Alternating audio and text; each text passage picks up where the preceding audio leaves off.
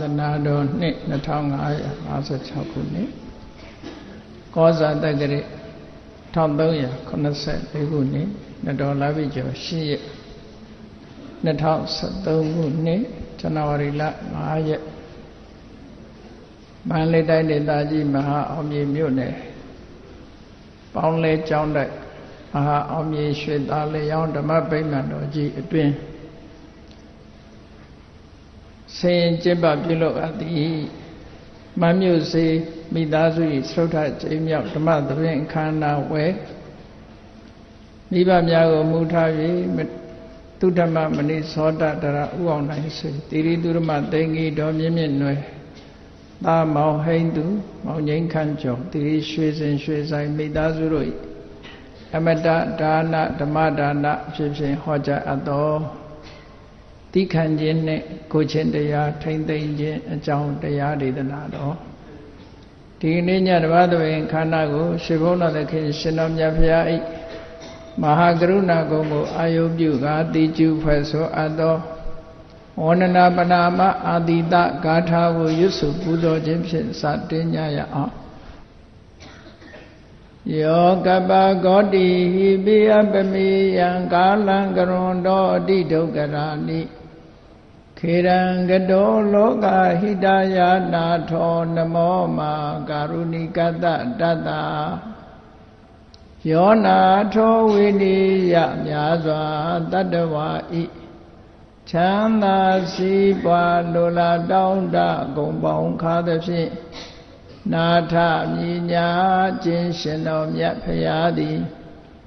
ကပ္ပဂောတိဟိပိဂရေကဘာအရေးအတွက်သင်္ချာတို့ဖြင့်တော်လဲ အဘေမေယံရေတွေ့တိုင်းတာဖော်ပြခြင်းငါမစွမ်းနိုင်ပါသောကာလံလေးအသင်ချေသိနေကဘာရှိကြသောကာလပတ်လုံးလောကဟိတယတတ္တလောကဤအကျိုးစီးပွားအလုံးငါအတိဒုက္ခရာဏိဥစ္စာအသက်ချေလက်အင်္ဂါမေတ္တာကြီးမှသမိတာနှင့်တထာဇနီဆွန်ရင်ကြီးဟု ကျက်တိထဝယ်ငါးသွဲအစုအလုံးခဲရင်တော်မူတော်ကိုကရွန်တော်ဖျားဖြစ်ရန်ဤတန်ကြိုးကုတ်အာထုတ်တော်မူရသည်ဖြစ်ဖြစ်ခေရန်လက်ချေမျက်လုံးအသက်ဆုံးလျက်နှလုံးစိတ်ဝံကိုရောဤပင်မခြင်းတို့ကတောဘဝတဏ္ဏကျိန်ဖန်များစွာ ရောက်တော်မူခဲ့ရရှာလေပြီ မဟာကရုဏီကတတတဝါများယင်ဝေတာကဲ့သို့တနာချစ်ခင်မဟာကရုဏာရှင်ဖြစ်တော်မူသောတသနာတတဝိနည်းများစွာတတဝါဤချမ်းသာစီးပွားလိုလားတောင်းတအကုန်ပေါင်းခါသဖြင့်နာထမြညာထိုးရှင်တော်မြတ်ဖရာအားနမောယုတိပြောင်းပြော့မှန်ကိုလျော်၍က ရောယုကျိုးရှိခိုးခြင်းသည်အထုဘဝတုစင်စစ်မသွေဖြစ်ပါစေတည်း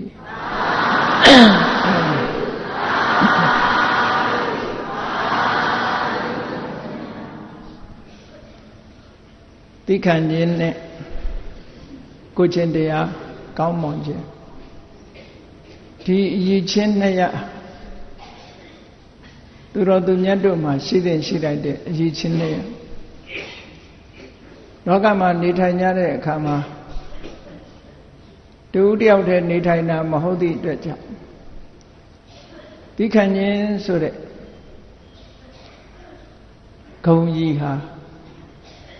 အများနဲ့ဆက်ဆံတဲ့အခါမှာအလွန်အရေးကြီးတဲ့ဂုံကြီးတစ်ခုဖြစ်တယ်ဒါရမကဘူး သဗ္ဗေပိကုသလဓမ္မာခန္တရာယတ္တာဝဝတ္တရေတဲ့ကုသိုလ်ရဖို့အတွက်အရေးကြီးဆုံးကသိခံမှုပဲပေါ့အဲ့တော့သိခံမှုမရှိရင်ကုသိုလ်တောင်မရနိုင်ဘူးလို့ဒီလိုဆိုလို့ရတယ်ဒါကြောင့်မို့သိခံခြင်းဆိုတဲ့ကျင့်တရားသူတော်သူမြတ်တို့ရဲ့အည်သွေးဖြစ်တာမို့ဘုရားလောင်းတော်တွေဟာပါရမီဖြည့်တဲ့အခါမှာခန္တီပါရမီဆိုတာကိုတည်တည်တတ်တတ်ဖြည့်စည်းရတယ် အဲ့တော့လူတော်လူကောင်းဖြစ်ဖို့ထူးခြားတဲ့အရေးချင်းတွေနဲ့ပြည့်စုံဖို့ဆိုတဲ့အခါဒီတိခဏ်ခြင်းဆိုတဲ့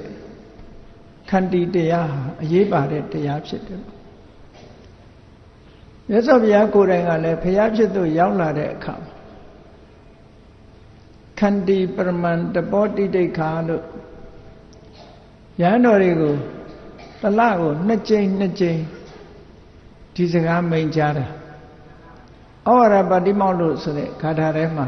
ခန္တီပရမန်တပောတိတိခါဆိုတဲ့စကားလုံးမြတ်စွာဘုရားရဟန်းတော်တွေကိုတလနှစ်ကြိမ်ဆုံးမဩဝါဒပေးတဲ့ထဲမှာထဲသွင်းဟောကြားထားတယ်ဘလောက်အရေးပါတယ်ဆိုတာဓမ္မတိတာထင်ရှားတယ်ပေါ့သူတော်ကောင်းတွေရဲ့ကြီးမားတဲ့အင်အားစွမ်းအားတစ်ခုပဲလို့ မရင်ကျက်ခင်တုန်းကခန္တီပါရမီကိုဖြည့်ကျင့်ခဲ့ကြဖြစ်ကျင့်လာတဲ့အခါမှာခန္တီပါရမီအထွတ်ထိပ်ရောက်လာပြီဆိုတဲ့အခါဘုရားဖြစ်သူရောက်တယ်ရောက်ပြီးတဲ့အခါမှာဟောဒီခန္တီပါရမီတိခန့်ခြင်းရဲ့ဒီအရေးပါမှုကို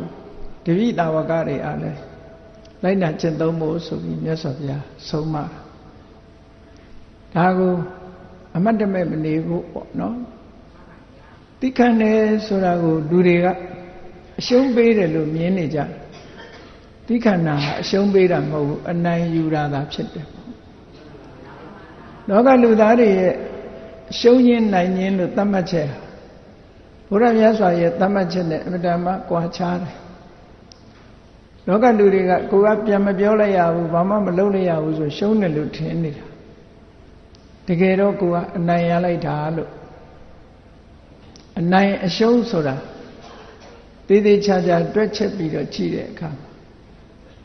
သိခံမှုကနိုင်လိုက်တယ်ဆိုတာအမတမထင်ရှားသာရကတစ်ခုကိုနှိုင်းရှင်ပြီးတော့ကြည့်လေမြတ်စွာဘုရားနဲ့ဒေဝရတ်ရှင်တွဲပြီးတော့ပေါ်ပေါက်လာတာဆွေမျိုးထဲမှာမြတ်စွာဘုရားကိုဆန့်ကျင်မဲ့ပုဂ္ဂိုလ်ဟာမြတ်စွာဘုရားရဲ့ညီကိုဝမ်းခွဲတော်တဲ့ပုဂ္ဂိုလ်ဖြစ်အောင်များမက လူဘဝကရောက်ဖဆိုတဲ့မြို့တိုင်းဝိုင်းတဲ့တောင်ရောက်လာသေးတာအဲ့ဒီနှစ်ဦးကိုပဲနှိုင်းရှင်ပြီးတော့ကြည့်မြတ်စွာဘုရားကမြေဓုတဖွဲတိခံမှုစွမ်းအားနဲ့ပြည့်စုံတယ်ဒီရက်ကလုံးဝတိခံနိုင်စွာမရှိတဲ့ပုဂ္ဂိုလ်အဲ့တော့တိခံသူနဲ့တိခံမှုမရှိတဲ့ပုဂ္ဂိုလ်တိခံသူကိုစော်ကားတဲ့ပုဂ္ဂိုလ်ဒေဝရတ်နဲ့မြတ်စွာဘုရားဒေဝရတ်ဟာ မြေရှိုးသွားရတယ်နောက်ဆုံးတာမန်အပြင်ကြည့်မယ်ဆိုလို့ရှိရင်တော့လောကလူသားတွေအနေနဲ့ကြည့်မယ်ဆိုရင်ဘုရားနဲ့ဒေဝရ950ဇတိမှာကြည့်ရင်ဘုရားလောင်းကရှုံးတယ်လို့ဒီလိုထင်ကြမှာဘုရားဖြစ်တဲ့ဘဝတောင်မှပဲဒေဝရရဲ့စော်ကားမှုတွေကိုအများကြီးခံရနောက်ဆုံးမှာဆုံးဖြတ်ပေးတဲ့အချိန်မြတ်စွာဘုရားအနိုင်ရတယ်လို့ပဲပြော ဒေဝရကဝန်ချတောင်းပန်ပြီးတော့ဘဝတစ်ခုခြုံငိမ့်ပြီးတော့သွားနောင်တရပြီးတော့မြတ်စွာဘုရားအပေါ်မှာတိခံခွင့်လွတ်ဖို့ဝန်ချပြီးတော့မှဘဝတစ်ခုဆုံးသက်သွားတယ်အဲ့ဒီဝန်ချသွားမှုလေးဟာသူ့ရဲ့နောက်ဆုံးကြံရှိတဲ့သူတော်ကောင်းအည်ချင်းလေးတစ်ခုဖြစ်သွားတယ်အေးတိခံမှုဆိုတာဟာပါရမီပြည့်လာတဲ့ဘုရားမြတ်စွာအဖို့မှာတိုင်းဆ မရှိလောက်အောင်ကြီးမားတဲ့တိခံမှုကိုရှိတယ်ဒါကြောင့်မို့မြတ်စွာဘုရားကိုကြီးညိုလေးစားတဲ့ဘုရားဘာသာဝင်သူတော်စင်တွေဟာသိခံမှုဆိုတဲ့ခန္တီတရားကိုလက်ကင်ထားဖို့ဆိုတာအရေးကြီးတယ်လို့ဒီလိုမှတ်သားအဲ့တော့သိခံတယ်လို့ဆိုတဲ့နေရာမှာသိခံစရာတွေကဘာတွေရှိသလဲလို့ဆိုသိခံစရာတွေကိုလိုက်ကြည့်မယ်ဆိုလို့ရှိရင် ကိုယ့်ပေါ်မှာစော်ကားပြောဆိုတဲ့စကားတစ်မျိုးတည်းတင်သိခံစရာမဟုတ်ဘူးကိုယ့်ပေါ်မှာစော်ကားပြောဆိုတဲ့စကားတွေကိုလည်းသိခံတယ်ကိုယ်တဏ္ဍာမှာဖြစ်ပြလာတဲ့ဖြစ်ပေါ်လာတဲ့ယောဂဝေဒနာတွေကိုလည်းသိခံတယ်ရာသီဥရုဓာတ်တွေကိုလည်းပဲသိခံတယ်သိခံပြီးတော့လှုပ်တဲ့လှုပ်ထိုက်တာကိုဆက်လှုပ်နေတယ်ဆိုတဲ့အဓိပ္ပာယ်ကိုပြောတာเนาะ ဒါကြောင့်မို့ကျင့်စဉ်နေတဲ့မှာခမာပฏิပဒါသိခံတဲ့အကျင့်ဟာဒါတွေနဲ့ပတ်သက်လာတယ်အဓိဝါဒကမိမိပေါ်မှာဘယ်အရာတွေပဲဖြစ်ဖြစ်သူများကစော်ကားတဲ့အရာတွေလဲကိုယ့်ပေါ်မှာတင်ထားလိုက်တယ်တွန်းဖယ်မချဘူးဆင်းရဲဒုက္ခတွေကိုလည်းပဲတွန်းဖယ်မချဘူး လက်ခံထားလိုက်တယ်အဲ့ဒီလိုလက်ခံထားနိုင်တဲ့စွမ်းရည်တတ္တိတွေကိုယ်စိတ်တုံလုံးခြောက်ခြားခြင်းမရှိပဲနဲ့အရာရာကိုရင်ဆိုင်ပြီးတော့စိတ်အားမပြတ်ပဲနေတာဒါသိခတ်တယ်လို့ပြောတာလောက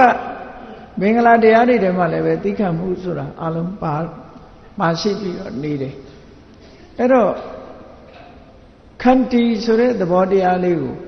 စကလုံးကဖော်ပြတဲ့အဓိပ္ပာယ်လေးနဲ့ပို့ပြီးတော့ မှတ်သားလို့မှတ်သားကြည့်မယ်ဆိုရင်ထင်ရှားနိုင်တယ်ပေါ့ခန္တီဆိုတဲ့စကလုံးကိုဗျာကရုံးကျမ်းနေမှာဖွင့်ဆိုတဲ့စကလုံးရဲ့အနှစ်သာရနဲ့ကြည့်ပြီးပြောမယ်ဆိုရင်ခန္တီဆိုတဲ့စကလုံးဟာခမှုဆိုတဲ့စကလုံးအရင်မြစ်ကလာတာခမှုဆိုတဲ့စကလုံးအရင်အမြစ်ကို အတိပ္ပယ်ဖွင့်ဆိုတဲ့အခါမှာခမှုတဟနေတဲ့စွန့်ရည်တတိရှိခြင်းဆိုတဲ့တဟနခန္ဓာရည်ရှိခြင်းဆိုတဲ့အဓိပ္ပာယ်ခန္ဓာရည်ဆိုတဲ့အဓိပ္ပာယ်ဟာဒီ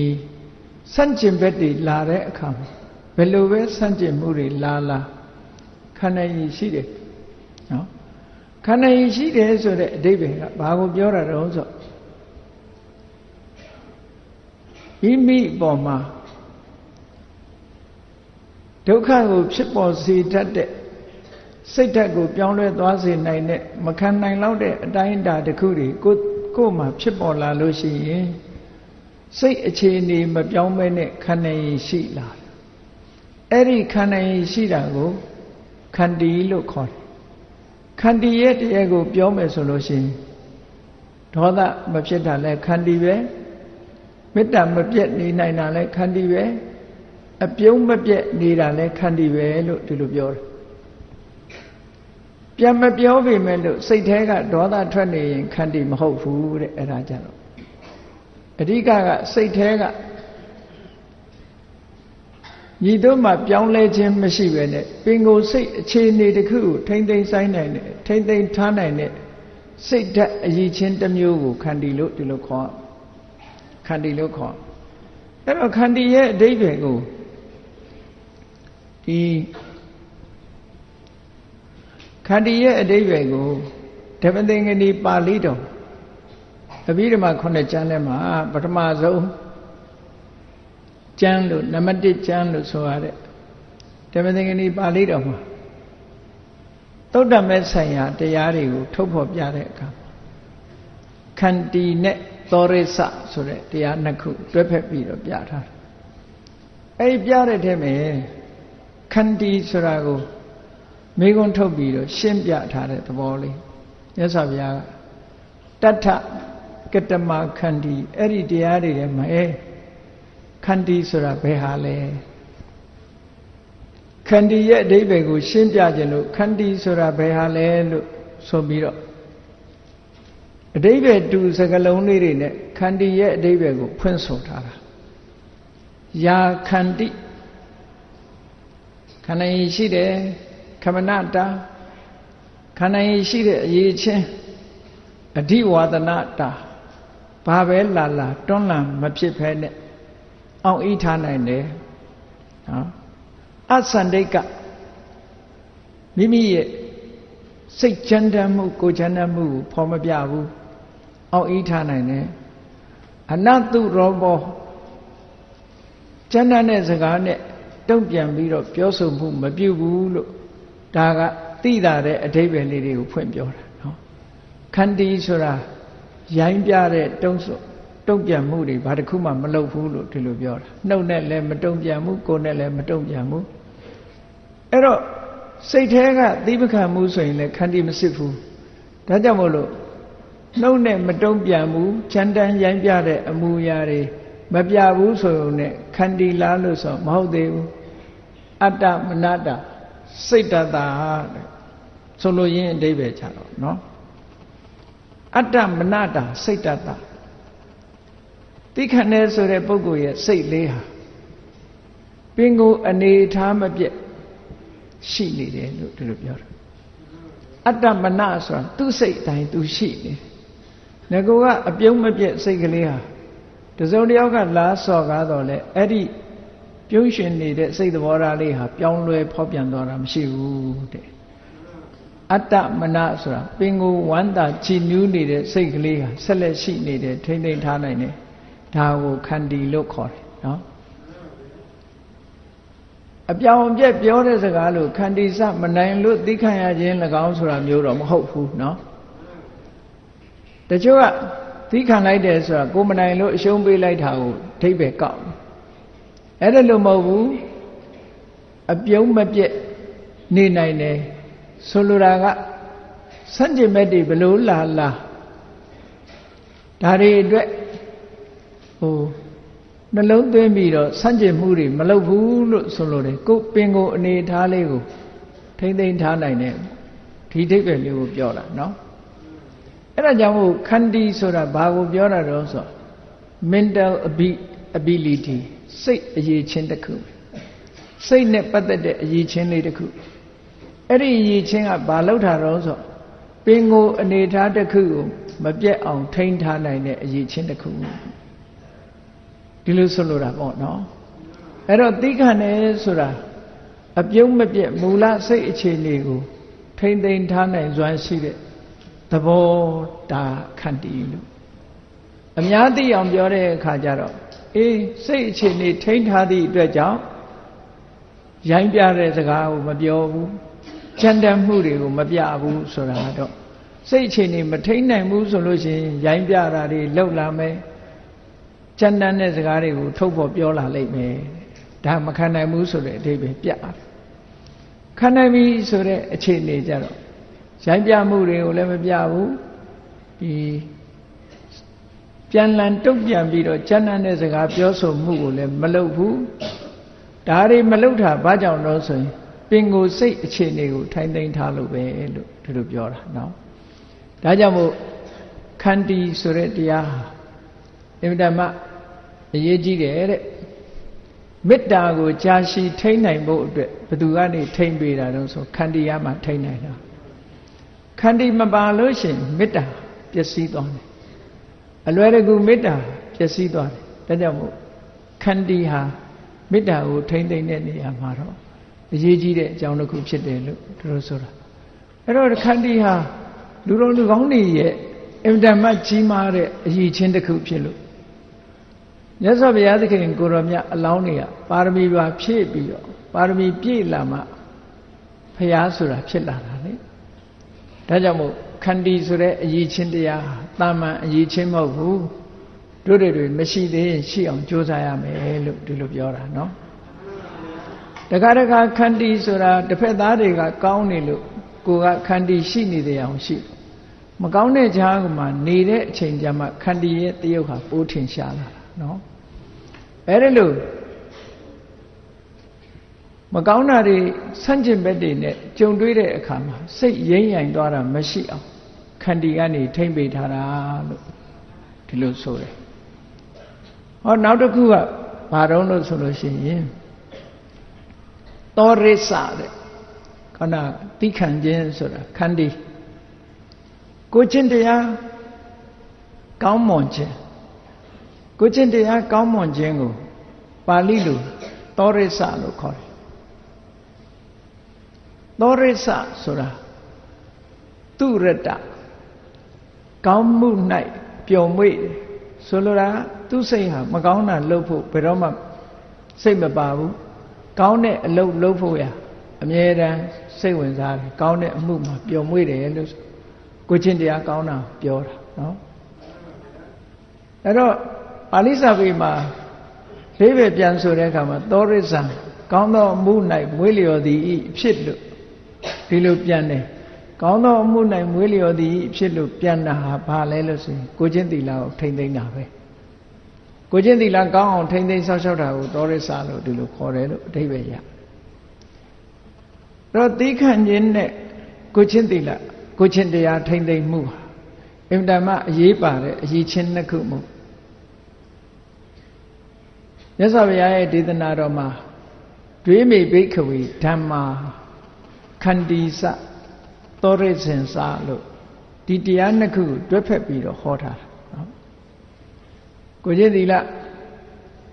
ကောင်းမွန်ခြင်းနဲ့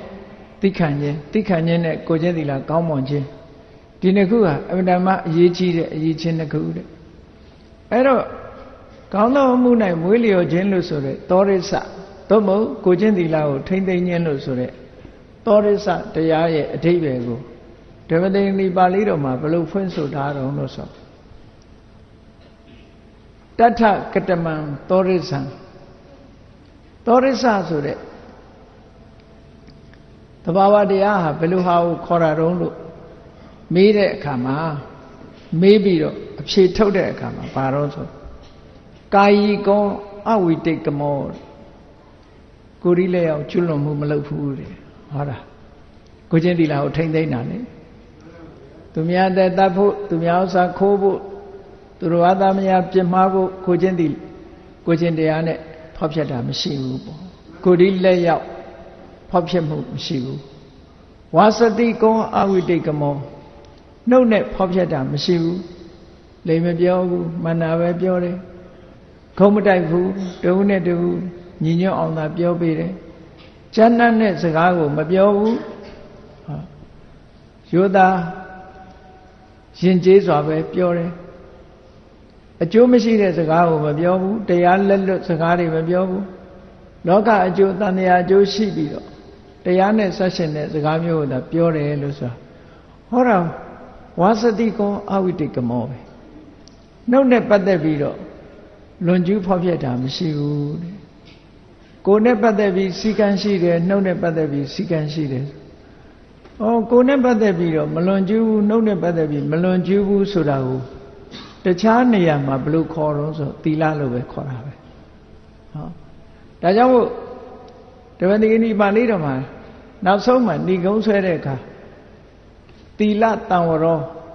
ဟောကိုချင်းသီလကိုထိမ့်သိမ်းစောင့်ရှောက်မှုဟာသောရိစ္ဆံ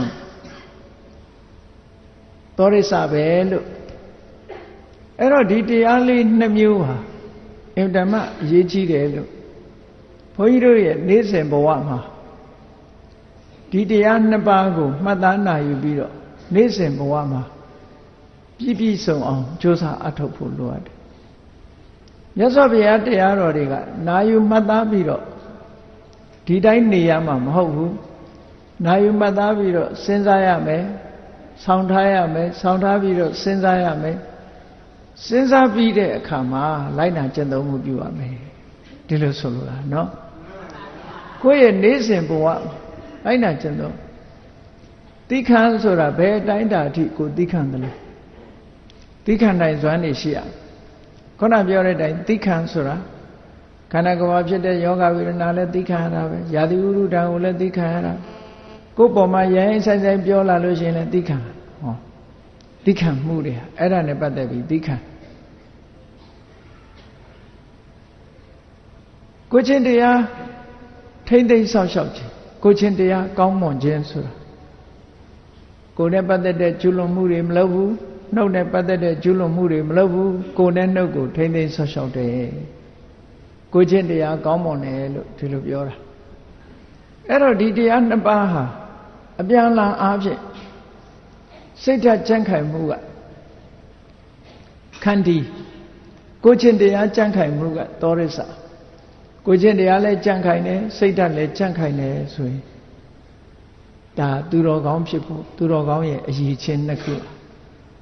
ကိုယ်တဏ္ဍာမှာရောက်ရှိပြီးတော့လာအဲ့ဒါလိုရောက်ရှိလာသည့်အတွက်ကြောင့်ဘာတွေအကျိုးရတော့လို့မေးကြရှိလို့ရှိရင်တိမခံခြင်းကြောင့်ဖြစ်ပေါ်လာမဲ့ပြဿနာတွေမရှိတော့ကိုယ် လောကမှာတိမခံနိုင်ခြင်းကြောင့်ဖြစ်လာတဲ့ပြဿနာတွေအများကြီးပဲလေတမန်အားဖြင့်တိခံလိုက်မယ်ဆိုလို့ရှိရင်ဘာမှမဖြစ်နိုင်တာဘူးတိမခံနိုင်လိုက်သည့်အတွက်ကြောင့်ပြဿနာတွေအများကြီးတက်လာတယ်အဲ့ဒီတက်လာတဲ့ပြဿနာတွေနောက်ဆက်တွဲဖြစ်ပေါ်လာမဲ့အရာတွေအားလုံးဟာအဆက်ဖြတ်ပြီးသားဖြစ်သွားတယ်ဟောသိခံလိုက်တဲ့ပြင်အာလုံးငြိမ့်သွားတယ်လို့သူတို့ပြောတာ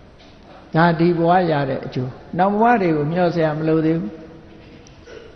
အခုသိခံရင်အခုပြဿနာတွေငြိမ့်သွားတယ်လို့သူတို့ပြောတာနော်အခုသိခံလိုက်တာနဲ့အခုပြဿနာတွေငြိမ်းသွားပြီအခုပဲကုသိုလ်ရသွားဒီလိုဆိုတာသိမခံနိုင်လို့ရှိရင်ကုသိုလ်ဆိုတာဖြစ်ဖို့အမှန်တမ်းခရင်သွားဒါကြောင့်မို့အခုသိခံအခုကုသိုလ်ရတယ်အခုပြဿနာတွေငြိမ်းနေကိုချင်းသီလကောင်းမွန်ခြင်းကတော့ရောဆို ဟောကိုချင်းသီလကောင်းမွန်ခြင်းဆိုတာနောက်ဘဝမှာကောင်းအတုတိရောက်တာမရောက်တာအသာစဉ်းစားမနေနဲ့ဒီဘဝတည်းမှာဘယ်လိုအကျိုးရှိစဉ်းစားရကိုနဲ့ကျွလွန်မှုမရှိဘူးနှုတ်နဲ့ကျွလွန်မှုမရှိဘူးလို့ဆိုတဲ့ကိုချင်းသီလကောင်းမွန်ခြင်းကြောင့်ဘာဖြစ်လဲအပြစ်ကင်းတယ်ဘာအပြစ်မှကိုယ်ကလွန်ကျူးတာမရှိဘူး လောကမှာအများနဲ့ပတ်သက်တဲ့လွန်ကျူးမှုဟာနှစ်ခုပဲရှိဘာလဲလို့ဆိုရင်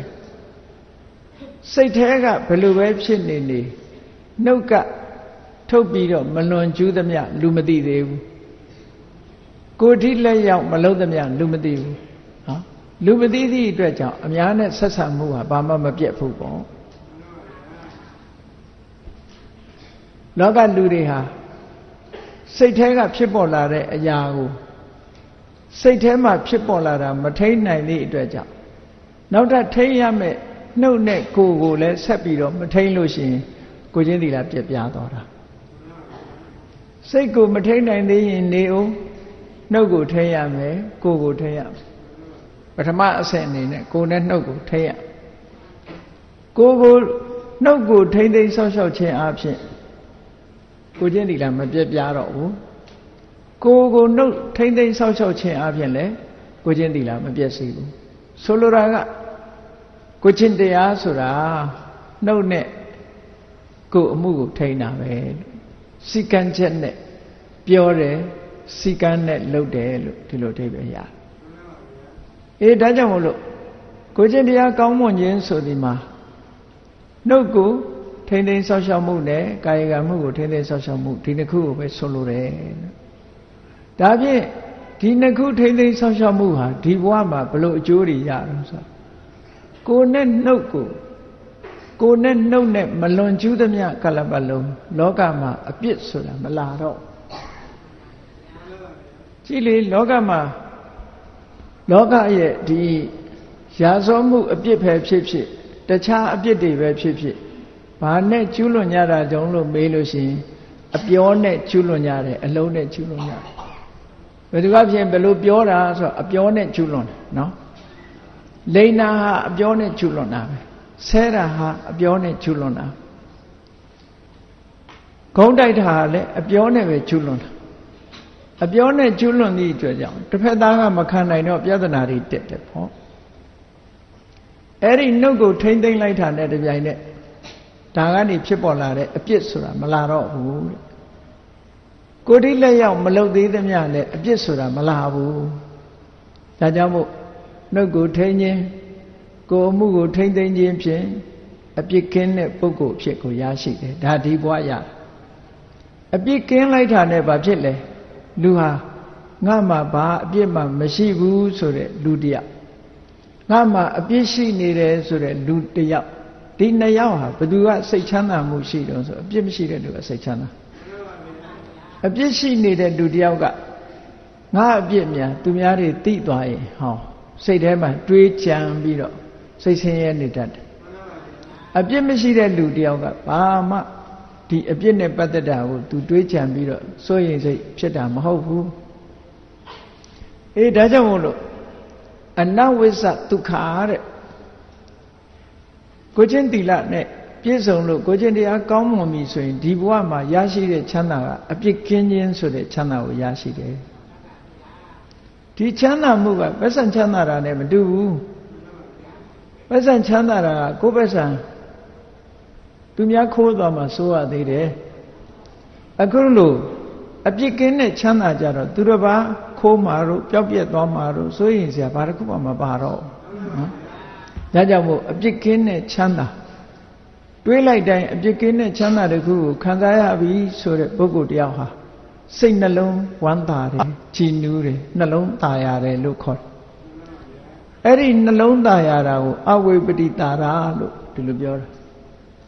အဝိပတိတာရနှလုံးသားရမှုရှိအဲ့တော့နှလုံးသားရတဲ့ပုဂ္ဂိုလ်တယောက်ဟာဘာဖြစ်တုံးဆိုပါမောဇကိုကိုကျင်တရားနဲ့ပတ်သက်ပြီးတော့ ဝမ်းသာတယ်ဝမ်းမြောက်တယ်ဝမ်းမြောက်တဲ့အခါမှာပိဋိဆိုတဲ့နှစ်သိမ့်မှုတွေဖြစ်တယ်ပိဋိဆိုတဲ့နှစ်သိမ့်မှုဖြစ်လာရင်ဒုက္ခဆိုတဲ့ချမ်းသာဒုက္ခရတယ်ချမ်းသာလာပြီဆိုတဲ့အခါမှာစိတ်တည်ငြိမ်မှုကိုရတမာတိစိတ်တည်ငြိမ်မှုရသည့်အတွက်ကြောင့်ယထာဘူတညာနာတဒနာမမှန်ကန်ကန်မြင်နိုင်တယ်မမှန်ကန်ကန်သိနိုင်တယ်ဆိုတဲ့အနေအထားမျိုးတစ်ခုရောက်သွားတယ်ဟော ကိုချင်းသီလာကဒီဘဝတည်းမှာထုတ်လုပ်ပေးလိုက်တဲ့အကျိုးအဆက်ဆက်ဒါကနောင်ဘဝစောင့်ရတဲ့ဟာတွေမဟုတ်ဘူးနော်ကိုချင်းသီလာကအခုစောင့်တည်အခုဒီအကျိုးတွေဆက်ဆက်ရလာတာကိုမြတ်စွာဘုရားဟောပြအေးဒါကြောင့်မို့လို့တီးခံခြင်းနဲ့ကိုချင်းတရားကောင်းမွန်ခြင်းဆိုတဲ့ဒီနှစ်ခုဟာလက်တွေ့အကျိုးတရားကိုဘဝမှာလက်တွေ့အကျိုးတရားတွေကိုဖြစ်ပေါ်စေတာဖြစ်လို့ ဒီတရားနှမျိုးကိုတို့တွေပြည့်စုံအောင်ကိုယ်တဏ္ဍာမှာမရသေးရင်ရအောင်လုပ်မယ်ရပြီးရင်လည်းခိုင်မာအောင်လုပ်မယ်လို့လိုက်နာကျင့်သုံးပြီးတော့စောင့်တည်ကြရမှာဖြစ်တယ်ပေါ့အဲ့တော့ဒီလိုစောင့်တည်သွားမှလူဟာတစားတဲ့တစားပို့ပြီးတော့ရင့်ကျက်ပြီးကောင်းမွန်လာပြီးသူတော်ကောင်းဆိုတဲ့အနေအထားမျိုးကိုရမှာပါ တာမန်အားဖြင့်စိတ်လည်းမထိန်ဘူးကိုယ်ကိုလည်းမထိန်ဘူးနှုတ်ကိုလည်းမထိန်ဘူးဆိုရင်လူတော်လူကောင်းဖြစ်ဖို့အမတမခဲပါတယ်အေးဒါကြောင့်မို့အခုဒီတရားနှစ်ပါးဟာအရေးကြီးတဲ့တရားနှစ်ပါးဖြစ်လို့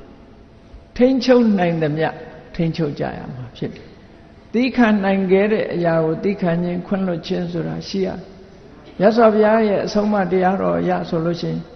သီးမခံတဲ့ပုဂ္ဂိုလ်ကဘာလုပ်တော့ဂလဲစားခြေတယ်နော်ဂလဲစားခြေတယ်အေးဂလဲစားခြေတာကိုလူတွေကဟုတ်လှုပ်တဲ့လှုပ်လိုက်တဲ့အရာလို့ဒီလိုထင်တယ်နော်အခုကိရုပ်ရှင်ကားတွေဆိုပါတော့အထူးအားဖြင့်ဘုန်းကြီးတို့တိရိလင်္ကာကလပြေတွေမှာနေတဲ့အခါကျတော့တယ်လီဗီရှင်းကြည့်မိတယ်ပေါ့နော်အဲ့ဒီကြည့်တဲ့ထဲပဲကလားကားဆိုလို့ရှိရင် သူတို့ရဲ့ theme ကဘာလဲလို့ဆိုရင်လူဆိုးကနှိမ့်ဆက်မယ်ပြီးရင်ကလေးစားချိန်မယ်ဒါပဲအဲ့ဒါတွေကိုသင်ပေးနေတဲ့အတိတ်ပဲမျိုးဖြစ်တယ်ပေါ့နိုင်ငံခြားရုပ်ရှင်ကားတွေလည်းကြည့်လေ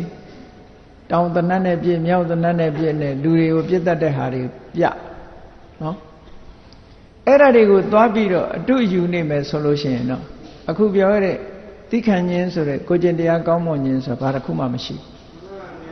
ဒီသူတော်ကောင်းတွေရဲ့အည်သွေးတွေကိုဒါတွေကဖျက်ဆီးနေတာဟောကိုကျင့်တရားကောင်းမွန်ခြင်းလို့ဆိုတဲ့မှာကြည့်ကိုရီးယားကားတွေကြည့်ကိုရီးယားကားတွေကဘယ်လောက်ဖြစ်စီတော့နော်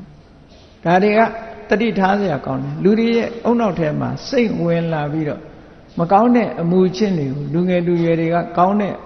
အရာလို့ထင်လာအောင်ဖြစ်ပေါ်စေတယ်မြတ်စွာဘုရားရဲ့အဆုံးအမကအဲ့ဒါလို့မဟုတ်ဘူးအလွန်တိမ်မွေ့တယ် မြတ်စွာဘုရားရဲ့အဆုံးအမကြောင့်ပြဿနာတစ်စုံတစ်ခုဖြစ်เสียအကြောင်းမရှိဘူးပြဿနာတက်လာတာအဲ့ဒါတွေကြောင့်အကြောင်းဖြစ်တာအမေရိကန်နိုင်ငံဆိုတာအလုံးသိတဲ့အတိုင်းတနတ်ကိုလိုင်စင်ပေးပြီးတော့ကင်ခိုင်းထားတဲ့နိုင်ငံတနတ်အမတန်ပေါ်တယ်ဝါသနာပါလို့ရှိရင်6လုံးမျိုးကနေအမြောက်ထီအောင်ဝယ်လို့ရနော်ရှိုးရူတနတ်ရှိုးရူတွေမှာသွားဝယ် ဒီမှာဟင်းသီးဟင်းရွက်ဝယ်ရတယ်လို့လွယ်လိမ့်မယ်သူတို့စီမှာအဲ့ဒါတော့ဒီလိုင်စင်ဆိုတာရှိပေမဲ့လို့လူတွေဟာကိုင်းနေသူတို့ကိုင်းတဲ့အခါကျတော့သူတို့စီမှာလူတိုင်းလူတိုင်းတနတ်ရှိတာကိုတွေ့ရဘုန်းကြီးတို့အမေရိကမှာ64ခုနှစ်က1994ခုနှစ်ကတစ်နှစ်နေဘူးတယ်မြန်မာတကာတဲကတကာတယောက် ဆွမ်းသားလာပင့်ဆွမ်းသားလာပင့်တော့သူကားနဲ့လိုက်ရှေ့ကကားရှိကန်းကဒီတကားကိုဖွင့်လိုက်တဲ့အခါဘုန်းကြီးခြေတော်နာလာပြီးတော့ပစ္စတိုတနတ်ကထောက်ခနဲ့လာကြဘုန်းကြီးရှိမှတနတ်ကြသွားတယ်ဆိုတော့သူအာရုံအာနာတော့ဖြစ်သွားတာပေါ့ဖြစ်သွားတော့ကာဘာယူတဲ့အနေနဲ့ဗာပြောတော့ဆို ဒီနိုင်ငံမှာဗျာတဲ့ဒါမရှိလို့မဖြစ်ဘူးတဲ့နော်ဒါမရှိလို့မဖြစ်ဘူးဘာတော့ဆိုကိုယ့်ကိုယ်ကာကွယ်ဖို့လို့ဒီလိုပြောတာနော်အဲ့ဒါလို့ကိုယ့်ကိုယ်ကိုကာကွယ်ဖို့ဆိုပြီးတော့ယူထားတဲ့တဏှတ်ကသူများကိုတတ်ဖို့လည်းဖြစ်နေတယ်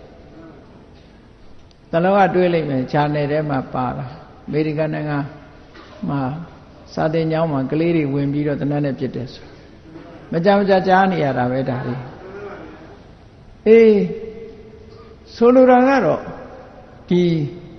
ခန္တီနဲ့သောရိစဆိုတဲ့အခြေအနေတွေပြက်ပြားသွားတယ်လူအတိုင်းဝိုင်းတွေမှာဒီလိုဖြစ်နေအဲဒီလိုပြက်ပြားစေတတ်တာတွေကိုလည်းပဲတရုပ်ဆောင်ပြီးတော့အဟုတ်ထင်အောင်ဖော်ပြနေတဲ့ရုပ်ရှင်ကားတွေကလည်းရှိ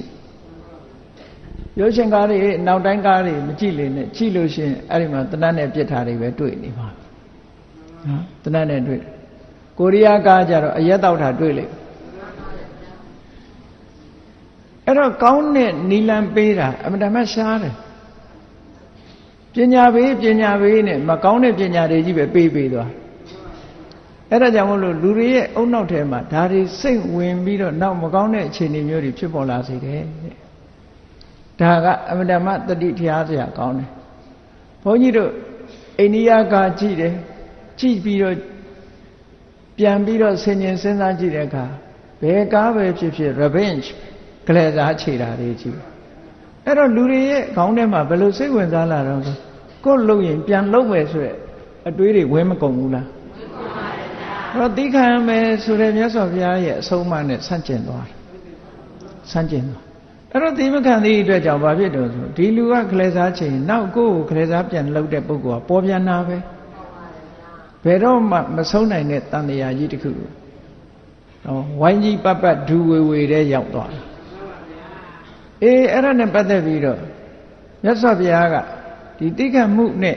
ပတ်သက်ပြီးတော့ဟောကြားထားတာယဟန်တွေကိုဆုံးမထားတဲ့အဲဝတ္ထုလေးတစ်ခု story လေးတစ်ခုရှိတယ်တဦးနဲ့တဦးငင်းခုန်ပြီးတော့တိခနိုင်ခြင်းခွင့်လွတ်နိုင်ခြင်းမရှိကြဘူး ငါကမှန်တယ်သူကမှန်တယ်နဲ့ညင်းမေးမဟုတ်ရင်မခံဘူးဟဲ့ဆိုတဲ့လူတွေနဲ့အဲ့ဒါမျိုးတွေနဲ့တိခခြင်းခွင့်လွတ်ခြင်းမလုံနိုင်တဲ့ယဟန်တော်တွေကိုမြတ်စွာဘုရားကပုံဝတ္ထုတစ်ခုဖြစ်ပျက်တစ်ခုကိုဟောကြားတာရှိတယ်ပေါ့အဲ့ဒီဖြစ်ပျက်ဝတ္ထုလေးကဗာရဏတိပြည်မှာဗြဟ္မတမင်းဆိုတာဗြဟ္မတမင်းလို့ခေါ်တဲ့ကာတိတိုင်း ဗာရဏတိပြည်ကကာတိတိုင်းမှာရှိလို့ကာတိမင်းလို့ခေါ်တယ်ဟိုးဖျားဘူးသွားတဲ့လူတွေသိပါလိမ့်မယ်ကာတိနဲ့ကောသလဆိုဗာရဏသီပြည်နာရောက်ရင်ကာတိဘူတာဆိုတာရှိတယ်နော်အဲ့တော့ကာတိတိုင်းကြီးဟိုးမြောက်ဖက်သွားလိုက်တဲ့အခါမှာဇေရဝံကျောင်းရာတို့ဘာလို့သွားတဲ့အခါကျတော့အဲ့ဒီဘက်ကျတော့ကောသလတိုင်းလို့ခေါ်တယ်အဲ့တော့ကာတိတိုင်းကောသလတိုင်းဆိုတာနှစ်ခုရှိတယ်အဲ့ဒီတစ်ချိန်တုန်းက ဒီဗာရဏသီဗြဟ္မတမင်းလို့ဆိုတဲ့ကာတိမင်းကချမ်းသာတယ်စစ်အင်အားတောင့်တင်းတယ်နော်စပားဆံရည်ပေါ်များတယ်စစ်တပ်ဖို့ပါများပြားတယ်နိုင်ငံကျယ်ဝန်းတယ်ပေါ့ဆိုလိုတာကအဲ့ဒီနှစ်ခုရှင်လိုက်မဲ့သူသူကအင်အားကြီးနိုင်ငံလို့ဒီလိုပြောဟိုကောသလမင်းကြတော့ဓိခိတိကောသလမင်းလို့ခေါ်တယ် သူကတော့ဇီဝဥစ္စာလည်းသိပ်မရှိဘူးတဲ့စစ်တပ်အင်အားလည်းသိပ်မရှိဘူးသုံးနိုင်ဆွဲနိုင်လည်းသိပ်မရှိဘူးစင်စင်ရဲရဲအဲ့ဒီဘယင်ကစစ်တပ်ကလည်းသေးသေးပဲရှိတယ်ငွေကြေးတနာလည်းသိပ်ပြည့်ပြည့်စုံစုံမရှိဘူးနိုင်ငံလည်းနိုင်ငံငယ်တယ်ပေါ့အဲ့ဒီလိုအနေအထားမျိုးမှာ ကာတိဘယင်ကကောသလဘယင်ကိုသွားပြီးတော့စစ်တိုက်တယ်နေမြေချက်ထွင်တဲ့စစ်ပေါ့နော်သွားတိုက်တော့ဟိုကမရှင်နိုင်ဘူးပေါ့အင်အားကြီးနိုင်ငံတခုကလာတိုက်တယ်ဆိုတာသောသောတွေကထွက်ပြေးတိမ်းရှောင်သွားတယ်ထွက်ပြေးတိမ်းရှောင်တာဘယ်သွားတော့ဆို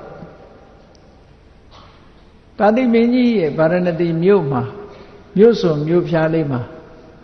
အိုးလုပ်ငန်းလုပ်တဲ့ အိုးရင်းတဲ့ရဲ့အလုပ်ယုံထဲမှာပရပိုက်ရောင်ဆောင်ပြီးတော့ဘယင်နဲ့မိဖုရားကပရပိုက်အဝတ်တွေဝတ်ပြီးတော့တိမ်းရှောင်ပြီးတော့သွားကြတယ်အဲ့ဒီမှာသွားနေကြတယ်ကောသလမင်းကြီးကတော့ကာတိတိုင်းကကာတိမင်းရဲ့ကာတိမင်းကာတိမင်းကကောသလတိုင်းကဘိုးဘာလက်နဲ့တွေအကုန်လုံးသိမ်းယူပြီးတော့နယ်မြေချက်ထွင်လိုက်တာပေါ့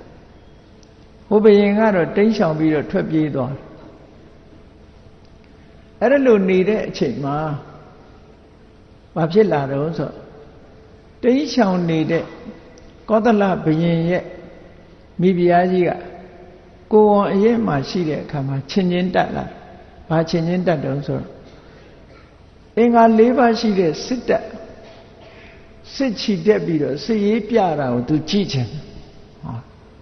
သူဆန္ဒကနော်စစ်ရေးပြတဲ့အခမ်းအနားကိုသူကြည့်ချင်တယ်ကြည့်ပြီးတော့ဒီဓားတွေလက်နဲ့တွေတန်လျက်တွေကိုသူတို့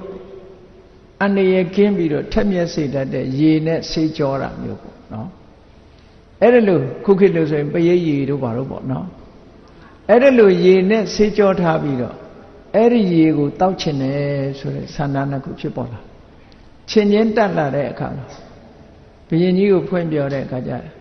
တို့မှခုမှမထင်မရှားနေရတာဘယ်လိုလုပ်ပြီးတော့စစ်တပ်ဆိုတာလဲရမှာလဲအခုလိုဓာတန်လေးရဲ့ကိုဆေးကြောတဲ့ရေဆိုတာလဲဘယ်မှာရနိုင်မှာလဲနဲ့ပြောတော့မရရင်တော့ तू သေရပါလိမ့်မယ်ဆိုတော့ဘုရင်ကြီးကနီးလန်းရှာရတာပေါ့ထွက်ပြေးပြီးတိမ်တိမ်ငယ်ငယ်ဘဝမှာနီးလန်းရှာတော့ဘယ်သွားရှာတော့ဆို အဲ့ဒီသူ့ကိုလာရံပြုတဲ့ကာတိမင်းကြီးရဲ့ပရောဟိတ်ပုံနာကသူနဲ့ရင်းနှီးတဲ့တငယ်ချင်းဖြစ်တယ်တငယ်ချင်းဖြစ်နေတော့အဲ့တငယ်ချင်းကိုတိုးတိတ်တိတ်သွားအကူကြီးတောင်းတယ်ကူညီတောင်းတော့အဲတငယ်ချင်းပရောဟိတ်ကနေလိုက်လာတယ်သူကိုယ်တိုင်ကြည့်ပြရစေတဲ့ဆိုပြီးတော့မိဖုရားကြီးကိုလာပြီးတော့သူလာတွေ့တဲ့အခါမှာမိဖုရားလည်းမြင်လိုက်ရောသူကလက်အုပ်ချပြီးတော့ ကောသလမင်းကြီးပါပဲကောသလမင်းကြီးပါပဲနဲ့နှုတ်ကဥရန်ကျူးတယ်ဒီမိဖုရားကြီးရဲ့ဝန်းထဲကကလေးတကယ်ကိုကောသလဘယင်ဖြစ်မှာပါတော့ဆိုပြီးတော့သူကဗေရင်တက်ပရောဟိတ်ဆိုတော့မြင်လိုက်တာနဲ့သူကသိတယ်ဘုံကံရှိတဲ့တာယရဏဖြစ်မှာပဲဆိုသူစီစဉ်ပေးမယ်ဘာမှမပူနဲ့လို့ဆိုပြီးတော့နောက်တည့်ရကြတော့ဘုရင်ကြီးစီသွားပြီးတော့ စင်ရေးပြဖို့အကြောင်းနမိတ်တွေရှိတယ်ပေါ့ဒါကြောင့်မို့လို့စင်ရေးပြတဲ့ကွင်းထဲမှာအင်္ဂါ၄ပါးရှိတဲ့စစ်တပ်အဲ့ဒီခေတ်ကတော့ဖွဲ့စည်းပုံကစင်တတ်တို့မြင့်တတ်တို့ယထာတတ်တို့ခြေလီစစ်တတ်တို့ဒီလို၄မျိုးနဲ့ဖွဲ့စည်းထားတယ်အဲ့ဒီစစ်ရေးပြတဲ့အခမ်းအနားကြီးကိုသူကစီမံပေးလိုက်တယ်စီမံပေးပြီးတော့ဓာတန်လျက်တွေလက်နဲ့တွေဆေးကြောတာကိုလည်း စီမံပေးလိုက်တယ်အဲ့ဒါလို့စီမံပေးလိုက်ပြီးတော့ဓာတန်လျက်ဆေးကြောတဲ့ရေကိုတောက်လိုက်ရတော့မှခုနတုန်းကမိဖုရားဟာချင်းချင်းပြေသွားတယ်အဲ့ဒါလို့နဲ့နောက်ကြတော့ရက်လစိတ်တဲ့အခါမှာသားလေးတူဖွေးဖွားလာအဲ့ဒီသားလေးကိုအသက်ရှည်ဖို့ဆိုတဲ့ရည်ရွယ်ချက်နဲ့ဒီကဟုလို့နာမည်ပေးထားတာနော်အဲ့တော့ဒီကဟုမင်းသားလေးနဲ့ကလေး မင်းသားလေးမွေးဖွားလာပြီးတဲ့နောက်မှာဒီကောသလမင်းကြီးကစဉ်းစားတယ်ဒီဒီကောသလမင်းကအေးတို့ပုံနေတာကိုကာတိမင်းတွေ့သွားလို့ရှိရင်တို့အသက်ခံရလိမ့်မယ်အဲ့တော့ငါတို့သားလေးကိုခွဲထားမှဖြစ်မယ်တော့ကြ၃ယောက်စလုံးတတ်ခံရလိမ့်မယ်ဆိုသားလေးကိုမြို့ပြင်ပို့ပြီးတော့ပညာသင်ခိုင်းထားတယ်အဲ့ဒါလို့ပညာသင်ခိုင်းထားတဲ့အချိန်မှာသားလေးကလည်းပညာကြိုးစားတဲ့အခါမှာ မင်းသားတွေထုတ်ခေတ်ကသင်တဲ့အတတ်ပညာတွေတတ်လို့ဒီလိုသင်နေတဲ့အချိန်ပဲကံမကောင်းအကြောင်းမလားတော့ဘာဖြစ်တုံဆိုငကိုယ်တော့ကသူ့စီမှာအမှုထမ်းသွားတဲ့စတ္တတိကအမှတ်မထင်သွားတွေးတွေးတော့ဟိုလူကသတ္တတိကကာတိပြင်းကြီးစီသွားတိုင်တော့တာကောသလမင်းဟာကိုရောင်ဖြောက်ပြီးတော့ဟောဒီဗာရဏသီမြို့ထဲမှာပဲ မထင်မရှားပြပိုက်ဝတ်နဲ့နေတာကိုသူတွေ့ခဲ့တယ်ပေါ့သွားပြီးတော့ဘုရင်ကြီးစီသွားတိုင်တာတိုင်တဲ့အခါကျတော့ဘုရင်ကစစ်တပ်လွတ်ပြီးတော့ဖမ်းခိုင်းလိုက်တာနော်ဖမ်းလာပြီးတော့နန်းတော်လဲရောက်ရောဘုရင်ကြီးကတခါတည်းအမိန့်ချတာသူရဲ့ရန်သူပဲအစဖြောက်မယ်ဆိုပြီးတော့လက်ပြန်ညိုတုတ်ဘုရင်ရောမိဖုရားရောလက်ပြန်ညိုတုတ်ပြီးတော့ မြို့တောင်ဘက်ကိုထုတ်ပြီးတော့တတ်စေလို့အမိန့်ချလိုက်တာအဲ့ဒီလိုနဲ့နော်ရိုက်နှက်ပြီးတော့မြို့ရဲလမ်းမတွေ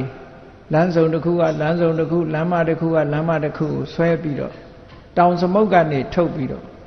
တေအသေးတတ်တော့တာပေါ့နော်ခေါင်းဖြတ်တတ်စေဆိုတဲ့အတိုင်းအဲ့ဒါလို့မိဘနှစ်ပါးကိုဖမ်းဆီးခေါ်ဆောင်ပြီးတော့ ဖမ်းဆီးတဲ့အခါမှာဒိုးဒိုးတိတ်တိတ်ဖမ်းသွားတာမဟုတ်ဘူးသူတို့ခေတ္တကထက်စီလို့ခေါ်တဲ့အမတန်အတန်ကကြောက်မဲ့ဖွဲ့အတန်မြည်တဲ့ဒိန်ဒိန်ဆိုတဲ့စီကြီးပေါ့အမင်္ဂလာစီကြီးကိုတီးပြီးသွားသေးတာအဲ့လိုတီးသွားတော့ခုနဒီကဟုဆိုတဲ့မင်းသားလေးကမြို့ပြင်ကနေပြီးအမေဖေတွေတွေ့ကျင်လို့လာတာလာတဲ့အခါကျတော့မှသူ့အမေနဲ့အဖေဖမ်းဆီးခေါ်ဆောင်သွားတာကိုမြင်ရတယ်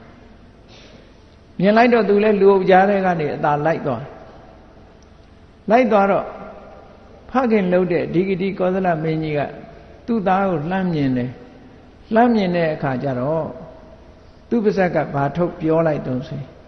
ငါသားဒီကဝူကြီးအရှိကိုမကြည့်ပါနဲ့ငါသားဒီကဝူအတူလည်းမကြည့်ပါနဲ့ရန်ဆိုတာရန်ချင်းတုံးလို့မငြိမ့်ဘူးတဲ့မတုံ့ပြန်မှရန်ဆိုတာငြိမ့်တယ် ငါပြောတဲ့စကားလေးကိုမင်းမှတ်ထားပါကွယ်နဲ့ပြောတာအဲ့လိုပြောလိုက်တဲ့အခါကျတော့ဖန်စီခေါ်ဆောင်သွားတဲ့လူတွေကဒီပြင်ကြီးယူနေပြီပေါ့တရားမှကြောက်လို့ဩနေတယ်ပေါ့ယူနေတာလို့မဟုတ်ဘူးဘုရင်ကြီးကတော့သူ့သားကိုမြင်လို့ငါပြောတဲ့စကားငါသားနားလဲတယ်ဆိုပြီးတော့ဘုရင်ကြီးကပြောတာ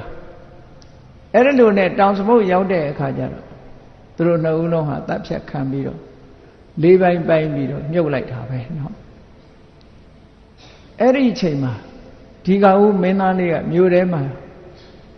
အရက်တွေဝယ်ဝယ်ပြီးတော့ယူသွားပြီးအဆောင်ချထားတဲ့လူတွေကိုအရက်တိုက်သူတို့မူးနေပြီဆိုတဲ့အခါခုနကမြုပ်ထားတဲ့အမေဖေရဲ့အလောင်းတွေကိုဖော်ပြီးတော့မိတကြိုတယ်သူကမိတကြိုပြီးတော့ရှ िख ိုးဝေါ်ချလို့ ငိုကြွေးပြီးတော့အဲ့ဒါလိုလုပ်မိဘတွေကိုယူသေးတဲ့အနေနဲ့အကုန်လုံးအဲ့ဒီလိုလုံနေတာကိုဘယ်သူကမြင်တော့လို့ဆိုတော့ကာတိပင်ကြီးကနန်းတော်ကနေလှမ်းကြည့်တော့မသေးမကွယ်လူတယောက်ဟာတူးဖော်ပြီးတော့မိတကြိုနေတာကိုမိတွေလှမ်းပြီးတော့မြင်နေရတယ်ပေါ့မြင်တဲ့အခါမှာသူ့စိတ်ထဲမှာကြည်တာကောသလမင်းကြီးရဲ့ ဆွေမျိုးတွေကဖြစ်လိမ့်မယ်ငါ့ကိုလည်းဘယ်သူမှလာမတိုင်ကြဘူးနဲ့ဆိုပြီးတော့စိုးရိမ်စိတ်တွေဖြစ်လာတယ်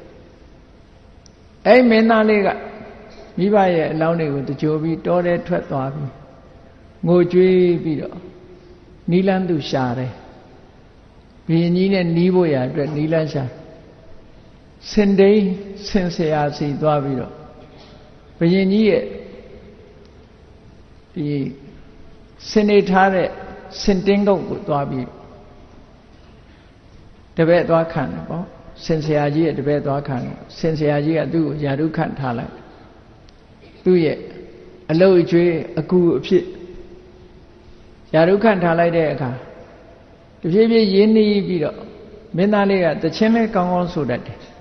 စောင်းလဲတီးတတ်တယ်စောင်းတီးတချင်းဆိုအဲ့ဒီလိုနဲ့နေတဲ့အခါကျတော့ဘုရင်ကြီးကကြားတယ် စောင်းတန်ကြားတယ်တချင်းတန်ကြားတယ်ဆိုတော့ဘယ်သူလဲဟေးစောင်းနေတီးပြီးတချင်းဆိုတာစုံစမ်းတဲ့အခါကျတော့စင်တိန်ဆရာကြီးရဲ့တပည့်ပါလို့ဆိုသူစီခေါ်ခဲ့သန်းလို့ဆိုခေါ်သွားတယ်ဘုရင်ကြီးစီရောက်တဲ့အခါဘုရင်ကြီးကတချင်းဆိုစောင်းတီးတာမင်းလားလို့ဆိုဟုတ်ပါတယ်ကျွန်တော်မျိုးပါငါ့ကိုတီးပြသန်းဆိုတီးတယ်တီးပြတော့ဘုရင်ကြီးကတော်တော်သဘောကျသွားသဘောကျတော့မင်းငါ့ကို ငါ့ကိုခါစားလို့ဆိုပြီးတော့ဘုရင်ကြီးမှခါစားဖို့ဆိုပြီးတော့အတွင်းလူဖြစ်ဘုရင်ကြီးကသူ့ကိုရာရုခံထားလိုက်သူကလည်းမင်းသားလေးကအကြံနဲ့လာတာဆိုတော့အမြဲတမ်းလိမ္မာတယ်သူကဒီအရှင်သခင်တို့စီမှာခါစားတဲ့လူတွေဟာလိုက်နိုင်ရမယ့်စိတ်ကနေရှိတယ်နော်ပပုပ်ပုတ်ထားဤတဲ့အဲ့ရကသူကပဲအရင်ထားရမယ်ပစ္ဆာနိပါတိနောက်မှအိပ်ဆက်ရမယ် ကိင်္ကာရပဋိတာဝီဘာကိုလောက်ရမလဲဆိုတာအမြဲတမ်းမေးမြန်းပြီးစိတ်တိုင်းကြအောင်လုပ်ရတယ်ပိယဝါဒီဘယ်တော့ဖြစ်ဖြစ်စကားပြောရင်နှဝင်ချိုအောင်ပြောရတယ်မနာပစာရီသူ့အကြိုက်ကိုလိုက်လုပ်ပေးရတယ်ဟောအဲ့ဒါလို့ဆိုလို့ရှိရင် तू ကအမှုရန်ကောင်းဖြစ်တယ်ပေါ့မင်းသားလေးကအဲ့ဒီအင်္ဂါရက်တွေနဲ့ညီညွတ်အောင်ဂရုစိုက်တဲ့အခါကျတော့ဘုရင်ကြီးရဲ့အတွင်းလူဖြစ်သွားတယ်ဘု ရင်ကြီးနဲ့မင်းသားလေးဒီကဟုတို့သိရင်းနှီးသွားတဲ့အခါကျတော့သူကလည်းလူပြိုပေါက်အရွယ်ရောက်လာအဲ့ဒီမှာဘုရင်ကြီးကတို့တောလဲသွားရအောင်ဆိုတော့တောလဲသွားရအောင်ယထာတစီပြင်လို့ဆိုသူလည်းကောင်းပါပြီဆိုလက်နဲ့တွေပါတင်ပြီးတော့မြင်ထားကပြီးတောလေဝရထွက်သွားကြအဲ့ဒီလိုထွက်တဲ့အခါမှာမင်းသားလေးကအကြံနဲ့ပါလို့တော့ နောက်ကလိုက်လာတဲ့သူ့ရဲ့ကိုရံတော်တက်တွေမျက်ခြေပြတ်သွားအောင်ဟိုဘက်ကိုယ်မောင်းလိုက်ဒီဘက်ကိုယ်မောင်းလိုက်နဲ့မျက်ခြေပြတ်အောင်အရှိန်အဟုန်နဲ့မောင်းပြီးတော့သွားလိုက်တာနောက်ဆုံးမှာဘယင်နဲ့သူနဲ့နှစ်ယောက်ထဲတောနဲ့ထဲရောက်သွားအောင်မောင်းသွားတာနော်ဘယင်ကြီးကလည်းမောတဲ့အခါကျတော့ကဲငါတို့လည်းမောပြီနောက်ကလူတွေလည်းမမိဘူးခဏတို့အပန်းဖြေရအောင်လို့ဆိုပြီးမင်းသားလေးရဲ့ပေါင်ပေါ်မှာဘယင်ကြီးကခေါင်းအောင်ပြီးတော့အိတ်တယ် အဲ့ဒီအချိန်မှာမကြခင်ပဲပင်မလို့အိပ်ပျော်သွားတဲ့အခါအဲ့ဒီမင်းသားလေးကငါဖြစ်ချင်တာဒီတစ်ခါဖြစ်လို့ရပြီဆိုပြီးတော့သူ့ထဲမှာပါလာတဲ့ဓာတ်ကိုဆွဲထုတ်ပြီးတော့ဘယင်ကြီးကိုခုတ်တတ်တော့ဖို့လုပ်တယ်အဲ့ဒါလို့လုပ်တဲ့အချိန်မှာသူ့အဖေကလှမ်းပြီးတော့ပြောသွားတဲ့စကားကိုသူနားထဲမှာကြားလာငါသားဒီကဝူအရှိကိုမကြည့်နဲ့အတူကိုလည်းမကြည့်နဲ့ရန်ကိုရန်စားနဲ့မတုံ့ပြန်နဲ့မင်း ရန်ကိုမတုံ့ပြန်မှရန်ဆိုတာအငိမ့်နေပြတ်ဆဲတယ်ရန်စားဒီမရှိလျားစိတ်နဲ့ဆိုတဲ့အဓိပ္ပာယ်နဲ့အဖေကြီးကမှားသွားတဲ့စကားကိုကြားရောင်ပြီးတော့ငါအဖေစကားကိုလွန်ကျူးတာမကောင်းပါဘူးအဖေစကားကိုမဖောက်ပြက်ပါဘူးဆိုပြီးတော့ဓာတ်ကိုပြန်ထည့်သို့တော့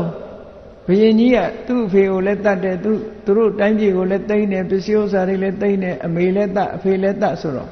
သူ့စိတ်ထဲမှာမခံကျင်စိတ်ကဖြစ်လာပြန်ဓာတ်ဆွဲထုတ်ပြီးတတ်မလို့လုံးလိုက်ပြန်ထည့်လိုက်ဓာတ်ဆွဲထုတ်ပြီးတတ်မလို့လုံးလိုက်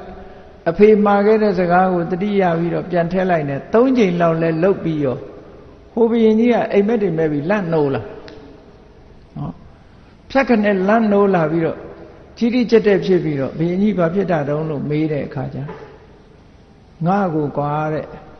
ကောသလမင်းကြီးရဲ့သားဒီဃာဝုဆိုတာကတနတ်ဓာတ်နဲ့လိုက်လို့ငါပြေးလိုက်ရတယ်ပေါ့အိမ်မက်ထဲမှာအဲ့ဒီကြတော့မှခေါင်းကိုစပင်ကိုဆွဲကင်ပြီးတော့ဒီဃာဝုဆိုတာတခြားလို့မဟုတ်ဘူးကျွန်ုပ်ပဲဆိုပြီးတော့ဘုရင်ကြီးကိုတတ်မဲ့လုံးလိုက်အဲ့ဒီကြတော့ဘုရင်ကြီးကခြေထောက်ဖက်ပြီးတော့တောင်းပန်နေတဲ့သူမတတ်ပါနဲ့မတတ်ပါကြည့်ဖះလောင်းဟာအဖေစကားကိုလည်းနားထောင်တယ်ဒီကောင်မင်းသားလေးက အဖေစကားကိုလည်းနားထောင်တယ်ဘုရင်ကြီးကတောင်းပန်တဲ့အခါမှာသူကြည်အေးလိုက်တယ်ကြည်အေးလိုက်တယ်သူ့ကိုအသက်ချမ်းသာပေးပါလို့ဆိုတော့ကျွန်ုပ်ကအသက်ချမ်းသာပေးဖို့တဲ့ဘုရင်ကြီးကကျွန်ုပ်ကိုအသက်ချမ်းသာပေးဖို့လိုအပ်ပါတယ်လို့ဆိုတဦးနဲ့တူအဲ့ဒါတစ္ဆာဆိုပြီးတော့လက်ဆွဲနှုတ်ဆက်ပြီးတော့သက်ချမ်းသာမှုပေးလိုက်ကြတယ်ပေါ့ကျိန်စာဆိုလိုက်ရတယ်တပထလို့ခေါ်တယ် အဲ့ဒီခေတ်ကကျိန်ဆိုကြရတယ်ပေါ့နော်အခုခေတ်ကြမ်းကျိန်နဲ့ကြမ်းကျိန်နဲ့ဆိုတဲ့အဓိပ္ပာယ်တွေကအဲ့ဒီကလာတာပေါ့မြန်မာနိုင်ငံမှာကျတော့သွေးကိုဖောက်ပြီးတော့သွေးကိုရေထဲထည့်ပြီးတော့သွေးတောက်ပြီးတော့ကြမ်းကျိန်ကြရတဲ့အားလုံးဘယင်းနေလက်ထက်တော့နော်ကျိန်ဆိုကြရတယ်အဲသူတို့နှစ်ဦးလဲဒီကဦးမင်းသားနဲ့ကာတိဘယင်းကြီးတို့အခုလိုကျိန်ဆိုပြီးတော့တဦးနဲ့တဦးမပြစ်မှားတော့ပါဘူးဆိုပြီးတော့ ကျိန်ဆိုပြီးတော့တိုင်းပြည်ကိုပြန်သွားကြဟောရောက်တဲ့အခါကျတော့ဘယင်းကြီးကမူးမမေမူကြီးမယာတိဏ္ဍပတိတွေခေါ်ပြီးတော့ဒီဂီတိကောသလမင်းကြီးရဲ့သားကိုတွေ့မယ်ဆိုရင်မင်းတို့ဘာလုပ်ကြမလို့ဆိုတယောက်ကလက်ဖြတ်မယ်တယောက်ကခြေဖြတ်မယ်တယောက်ကနှာခေါင်းဖြတ်မယ်နေရွက်ဖြတ်မယ်အသေးသက်မယ်နဲ့ပြောကြတာအေးဒီဂီတိကောသလမင်းကြီးရဲ့သားဆိုတာသူ့ပဲမင်းတို့ဘာမှလုပ်လို့မရဘူးငါတို့နှစ်ဦးဟာတဦးနဲ့တူ နော်တစ္ဆာပြုတ်ထားကြပြီကျိန်စာဆိုပြီးတော့တစ္ဆာပြုထားတယ်တူနဲ့တူတို့မပြစ်မှားဘူးဆိုပြီးတော့နောက်ဆုံးမှာအဲ့ဒီခန္ဓာမှာဘယင်ကြီးကသူ့ကိုမေးတယ်နေပါအောင်တဲ့ဒီဂတိကောသလမင်းမင်းရဲ့ဖခမည်းတော်တတ်မလို့ထုတ်သွားတဲ့အချိန်မှာငါသားဒီကဟုအရှိကို မရှုနဲ့အတူကိုမရှုနဲ့ဆိုတဲ့စကားဘာကိုပြောတာတုံးဆိုဩကျွန်တော်အဖေကကျွန်ုပ်ကိုပြောလို့တာအရှိကိုမလုံနဲ့ဆိုတော့ယံစကိုမရှိစေနဲ့လို့ဒီလိုပြောတာပါတဲ့အကယ်၍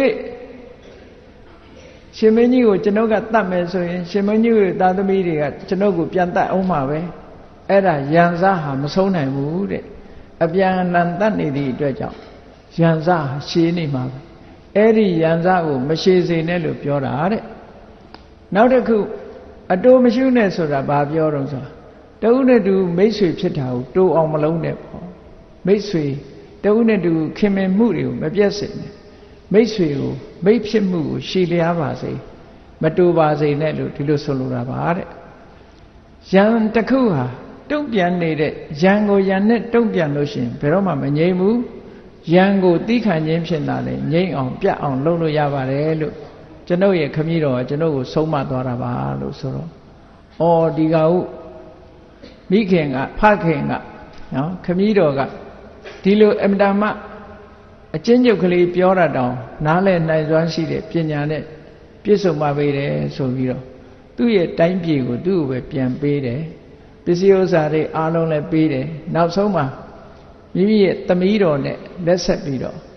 ကောသလတိုင်ကြီးကိုပြန်ပြီးတော့အနှင်းလိုက်တယ်လို့မြတ်စွာဘုရားကယဟန်တော်တွေကိုတိခန့်ခြင်းရဲ့အကျိုးကျေးဇူးနဲ့ပတ်သက်ပြီးတော့ဟောတာနော်အေးအခုလို့လက်နဲ့ဆွဲကင်တဲ့ပုဂ္ဂိုလ်တွေတောင်မှတခုနဲ့တခုခြေအေးနိုင်တယ်တိခန့်ခြင်းဆိုတာလုံနိုင်တယ်ကိုချင်းတရားကိုထိမ့်သိမ့်နိုင်ကြတယ်ကိုချင်းတရားကောင်းမွန်အောင်စောင့်ထိန်နိုင်ကြတယ် တင်တို့ယဟန်ဖြစ်ခဲ့တာနဲ့ဘာဖြစ်လို့ဒီလိုမလုံနိုင်ရမှာလဲလို့မြတ်စွာဘုရားကဆုံးမဩဝါဒပေးတာပါတဲ့အေးဒါကြောင့်မို့တရားချစ်ခင်သူတော်စင်ပြိဿအပေါင်းတို့ဒီဝိထုဇာလန်းလေးကိုမှတ်သားထားပြီးတော့အင်တာမသိခံမှုခက်တဲ့ကိစ္စများတောင်မှပဲအခုလိုသိခံပြီးတော့ကိုချင်းတရားမပြတ်အောင်ထိမ့်သိမ်းဆောင်းလျှောက်သွားကြတဲ့တကယ်သူတော်ကောင်းတွေရဲ့ဖြစ်ရကိုဘုန်းကြီးတို့တွေမှတ်သားနာယူပြီးတဲ့အခါမှာ တို့တွေသိခံအောင်သိခံနိုင်အောင်ကြိုးစားကြမယ်ကိုချင်းတရားကောင်းမွန်အောင်ကြိုးစားကြရမှာဖြစ်တယ်လို့ကိုစီကိုစီသဘောကျပြီးကိုချင်းတရားကောင်းအောင်သိခံခြင်းဆိုတဲ့အရေးချင်းတွေနဲ့ပြည့်စုံအောင်ကျင့်ကြံကြိုးကုပ်အားထုတ်နိုင်ကြပါစေကုန်သတည်း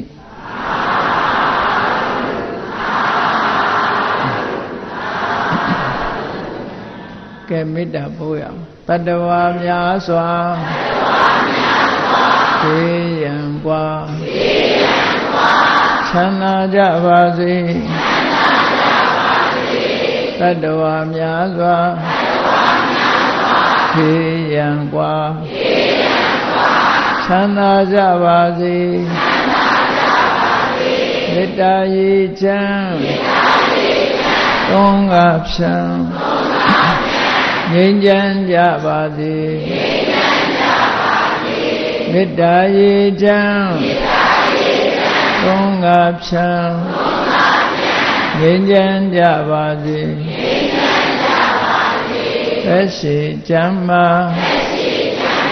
စိတ်ချမ်းသာ